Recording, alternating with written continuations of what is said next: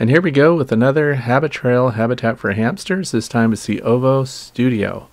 The Ovo Studio is much like the Habitrail Ovo Dwarf hamster setup, but the tubes are larger and we have some more accessories here for larger hamsters. These are all the components as they come out of the box. Make sure that everything is not broken and in good shape because if it is broken you want to send it right back. These are all the connectors. There's the exercise wheel to the right right there. And if you get anything extra for your setup, I recommend you get more elbows and 180s and connectors so that you can do other things with it. There's this Discover the New World of Habitrail Ovo. They list all of their components and accessories in it. This is the Habitrail Ovo Studio Special Edition. I don't know what's special about this edition. It's just the way it came. Bought it on Amazon and we're going to put it together starting with the basin and just like the others that have this round shape we start with these two receiving collars on the sides, a little fussy, line them up with the little slats there and clip them in place. And then you're going to be connecting the top opening system to that. So it's pretty much the same if you've seen my other videos. Simple, straightforward. We're just going to follow the instructions here.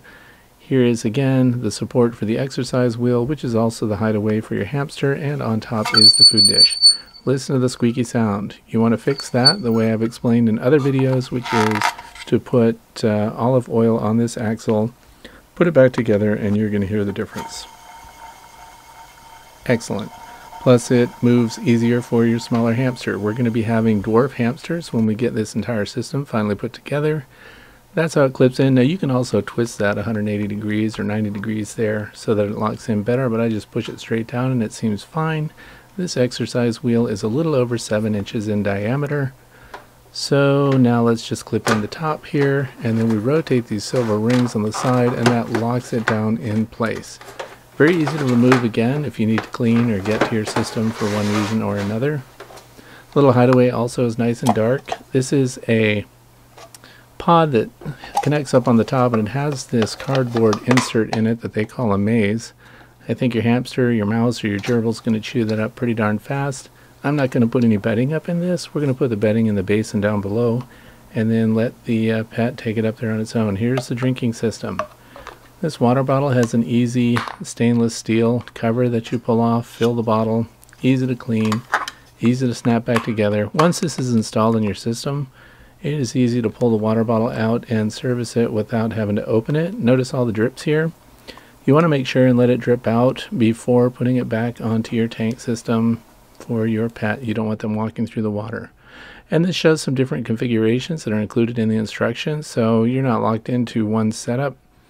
Again, I recommend you buy extra tubes and connectors and T's and elbows so that you can start to uh, run these things off in other configurations. Although each time you change your system around, you will cause a little bit of stress to your pet, so think that over. These are the connectors that go on either side. The little red things are called windows and they just close off dead ends. But these are the areas that you can also use to connect other habitats together. The connection rings are straightforward. They lock securely. Very easy to use. And then we just put all the pieces together. Put the windows on the sides which also help hold these pieces together.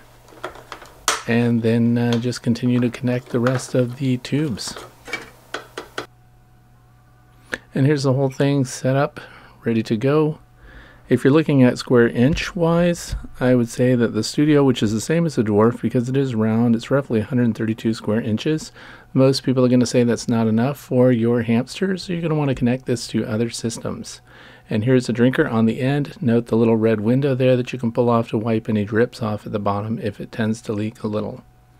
Here's the exercise wheel, takes up a lot of space in here. You may want to opt to get the external exercise wheel so that it won't take up your prime real estate inside the habitat.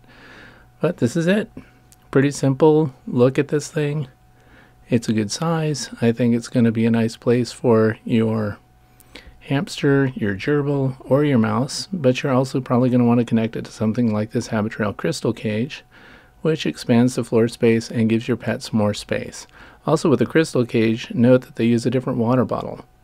Thanks for watching. I hope you get some nice cages for your pets.